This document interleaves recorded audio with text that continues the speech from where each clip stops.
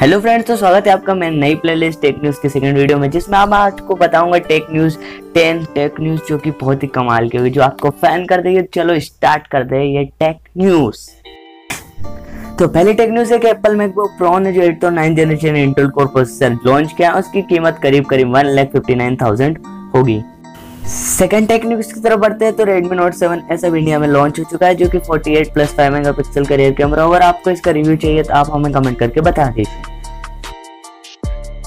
अगली take news की तरफ़ बढ़ते हैं तो सर्वे में बताया जा रहा है कि 2021 तक 50 परसेंट स्मार्टफ़ोन में तीन से ज़्यादा कैमरे होंगे। ये बहुत गजब की बात है। अगले टेक न्यूज़ की तरफ़ बढ़ते हैं तो बी ने कर दिया है कि दस और बीस रुपए का रिचार्ज प्लान उन्होंने हटा दिया ऑनलाइन प्लेटफॉर्म से। टेक न्यूज़ की तरफ़ बढ़ते हैं तो एयरटेल ने बताया कि वो फोर जी ओटी स्पोर्ट उन्होंने लॉन्च कर दिया है, जो कि आपको रिटेल प्राइस में मिल जाएगा तीन सौ निन्यानवे, जिससे आप तीन डिवाइस कनेक्ट कर सकते हैं, जैसे लैपटॉप हुआ स्मार्टफ़ोन है टेबलेट हुआ, सभी आप इससे कनेक्ट कर सकते हैं। और आपको बता दूँ कि एयरटेल ने भी अपना नेटवर्क बहुत फास्ट कर लिया है, और ये आप बराबरी करने के मुकाम पे भी होते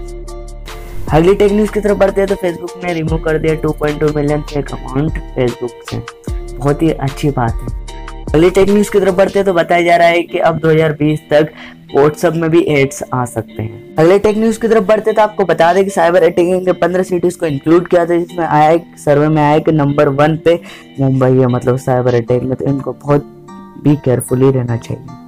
अगले टेक न्यूज़ की तरफ़ बढ़ते तो आपको बता दूँ कि Ola money S credit card अब लॉन्च हो चुका है इंडिया में इससे आपको ट्रेवलिंग करने में बहुत फ़ायदा होगा ओला